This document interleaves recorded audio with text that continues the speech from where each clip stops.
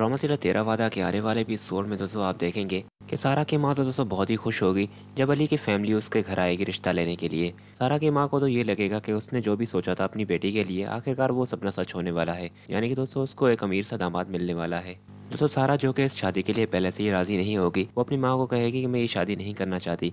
मैं उन्हें वैसे भी मना कर चुकी हूँ। अब आप ही मना कर दे, जिस पर दोस्तों वो उसे कहेगी कि इतना अच्छा रिश्ता मैं नहीं छोड़ सकती, वो लड़का कितना अच्छा है, अगर तुम्हारी शादी उसके साथ हो गई तो सोचो हमारे हालात कितने अच्छे हो जाएँगे। तो वो कहेगी कि इस वक्त आपको मेरी नहीं, अपनी ही लगी हुई है अम्मी। आप देख भी रही हैं कि मैं केरान के सब करने के बाद मैं फिर से शादी का फैसला नहीं कर सकती। उस सब के बावजूद भी आप मेरी शादी करवा रही हैं।